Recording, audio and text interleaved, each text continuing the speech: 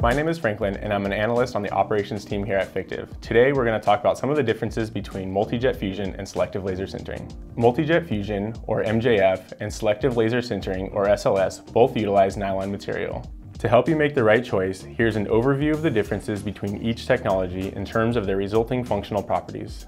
MJF machines deposit a detailing agent along the exterior of the part that, after media blasting, results in a less coarse surface finish when compared to the SLS process.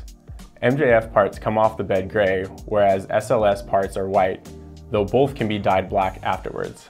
MJF has a slightly better resolution when compared with SLS, with a layer height of 0.08 millimeters versus 0.1 millimeters for SLS. If you're prototyping smaller quantities, under around 100 units, SLS is generally more cost effective.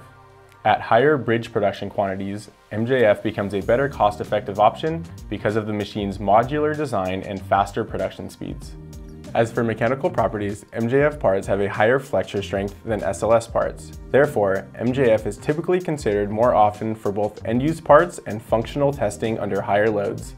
To get an instant quote for multi-jet fusion parts delivered in as fast as three days, log in to the Fictiv platform and try our next-gen quotes, where MJF and other new manufacturing processes are exclusively available for online quoting. We hope that gave you an understanding of some of the differences between multi-jet fusion and selective laser sintering. Thanks for watching.